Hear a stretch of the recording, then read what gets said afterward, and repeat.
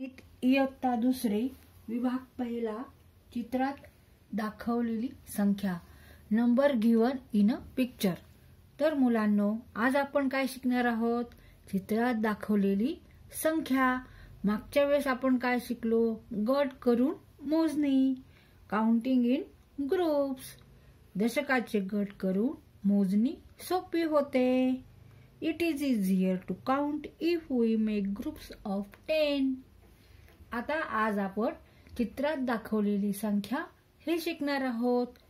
चित्रात दाखवलेल्या संख्या चौकटीत कशा लिहिल्या आहेत हे पहा. आता आपण इथे हे बघू. इथे बघा हे चित्र कशाचं आहे? तर इथे काय लिहिलेलं आहे? दशक आणि एकक.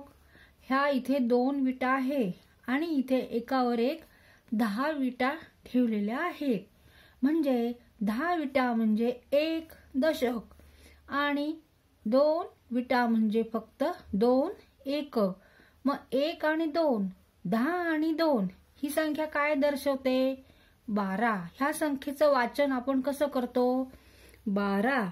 आता हे चित्र बघा. ह्या चित्रामध्ये इथे दशक लिहिले एकक लिहिले आणि इथे दोन दशक दाखवलेत.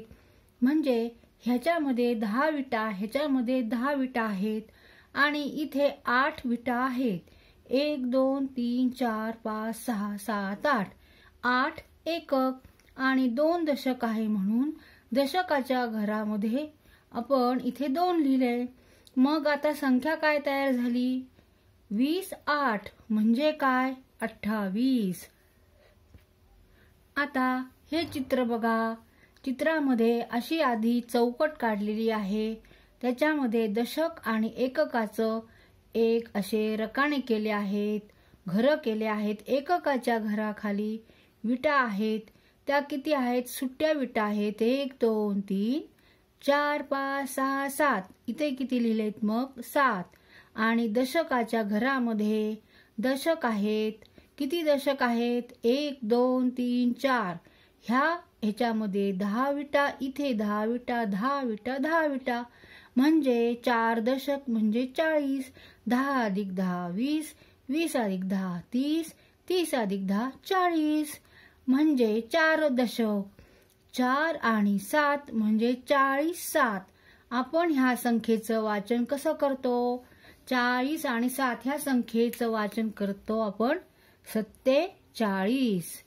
आता चित्रामधील संख्या अंकात आणि शब्दात लिही. आता बघा परत हे चित्र बघा. ह्या चित्रामध्ये काय दिसतंय? परत इथे सुद्धा दशक एकक आहेत. आणि दशकामध्ये एक माळ आहे. त्या माळेमध्ये मणी आहेत लाल रंगाचे. तर ते मणी किती आहेत बरं? आपण मोजूया. चला आता आपण मोजू. एक दोन तीन चार पाच सहा. सात आठ नऊ आणि दहा. म्हणजे दहा मणी आहेत ह्या एका माळेत. म्हणजे ही दशकाची माळ आहे. मग इथे आपण किती लिहायचे? दहा लिहायचे का एक लिहायचा? तर इथे आपण एकच लिहायचा. एक दशक. एक दशक म्हणून इथे एक लिहायचा. आणि आता इथे आपण हे मोजू. एक दोन तीन चार. इथे लिहायचे चार एकक. आता ही संख्या वाचा. एक आणि चार म्हणजे दहा आणि चार. दहा चार चौदा. मग इथे किती लिहिणार आपण? दहा चार. काय लिहायचं आपल्याला? दहा चार चौदा. इथे कसं लिहिले? वीस आठ चाळीस सात. इथे मात्र बारा लिहिले आहेत. तर इथे आपण दहा चार लिहिले. तर आपण इथे चौदा लिहिले तरी चालतात. चौदा. दहा चार म्हणजे काय? चौदा. चौदा. आता हे चित्र बघा. ह्या चित्रामध्ये एककाच्या घरात किती एकक आहेत? एक दोन तीन चार पाच सहा सात आठ. मग इथे आपण आठ लिहायचे आणि ह्या नोटा बघा. ह्या नोटा कितीच्या आहेत? बघा एकदा. ह्या नोटा आहे दहाच्या. ही एक दहा रुपयाची नोट आणि ही एक दहा रुपयाची नोट. मग एक दहा म्हणजे किती? एक दशक. मग आता ह्या दोन नोटा आहेत. दहा दहाच्या म्हणजे किती दशक झाले? दोन दशक. म्हणजे आता ही संख्या जर आपल्याला वाचायची असेल तर आपण कशी वाचतो? वीस आठ अठ्ठावीस. मग आता इथे किती लिहायचे आपण? अठ्ठावीस. वीस आठ अठ्ठावीस. वीस आठ आठ अठ्ठावीस. अठ्ठावीस. आता हे बघा चित्र. ह्या चित्रामध्ये काड्या आहेत. एककाच्या घरात किती काड्या आहेत मोजा. चला बरं आपण मोजूया. एक दोन तीन चार पाच सहा सात. किती काड्या आहेत? सात. इथे लिहिले आपण सात. आता हे दशकाचे आहे. हे दशकाचं घर आहे. तर ह्याच्यामध्ये ह्या एका मोळीमध्ये ह्या गठ्ठ्यामध्ये दहा काड्या आहेत.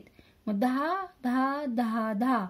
किती दशक झाले? चार दशक झाले. मग आता इथे आपल्याला संख्या लिहायची. चाळीस सात. चाळीस सात किंवा काय लिहिणार आपण? सत्ते चाळीस. चाळीस सात सत्तेचाळीस आता हे बघा बरं. हे घरासारखं काढलेलं आहे. परत इथे चौकट आहे.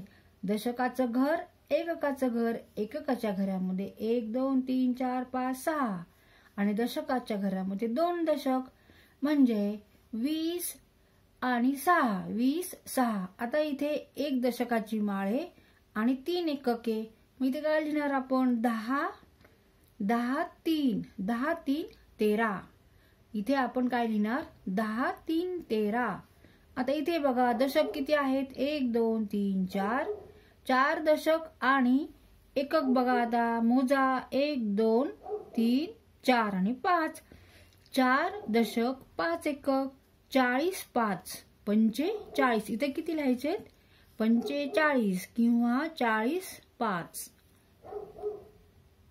विचार कर. वस्तूवरून संख्या मोज आणि खालील वर्तुळात लिही. आता इथे बघा दशक आणि एकक. एककाच्या घरात किती विटा आहेत? एक दोन तीन चार इथे लिहिले चार. आणि दशकाच्या घरात किती दशक आहेत? एक दोन तीन. इथे लिहिले तीन. मग आता इथे आपल्याला संख्या लिहायची आहे. वस्तूवरून संख्या मोज आणि खाली वर्तुळात लिही. आता इथे आपण संख्या लिहू. चौतीस. आता इथे बघा किती एकक आहेत? एक दोन तीन. इथे लिहायचे तीन. दशक किती आहेत? एक दोन तीन चार पाच. एका कॉलममध्ये एका खांबामध्ये दहा विटा आहेत. म्हणजे दशकाचा खांब हा दशकाचा खांब दशकाचा खांब दशकाचा खांब दशकाचा खांब. म्हणजे पाच दशक म्हणजे किती? पन्नास आणि तीन. त्रेपन्न. इथे लिहू आपण. त्रेपन्न. आता इथे बघा. एक दोन तीन चार पाच. इथे आहे पाच एकक. दशक किती आहेत? एक दोन तीन चार. इथे लिहिले चार दशक. संख्या काय झाली? चाळीस पाच. म्हणजे पंचेचाळीस. इथे आपण संख्या लिहू. आता संख्या वाच आणि तेवढ्या वस्तू दाखव. दशक दांडे सुटे. काड्याचे गठ्ठे सुटे. आता इथे आपल्याला चित्र काढायचंय. इथे आपल्याला किती दशक काढायचे आहेत इथे बघा बरं दशक किती आहेत? तीन. इथे आपल्याला आपल्याला तीन दशक दाखवायचे आणि इथे सुट्टे नऊ दाखवायचे. तर आता आपण काड्या दाखवू. इथे नऊ काड्या दाखवू आणि इथे काड्यांचे तीन गठ्ठे दाखवू. दहाचे गठ्ठे दाखवू. चार पाच सहा सात आठ नऊ आणि दहा. हा झाला एक गठ्ठा. एक. दोन तीन चार पाच सहा सात आठ नऊ दहा हा झाला दुसरा गठ्ठा. आता आपण तीन दशक दाखवले. इथे लिहून तीन आणि एकक दाखवले आहेत. नऊ इथे लिहू नऊ एकोणचाळीस तीस नऊ एकोणचाळीस. आता इथे आहे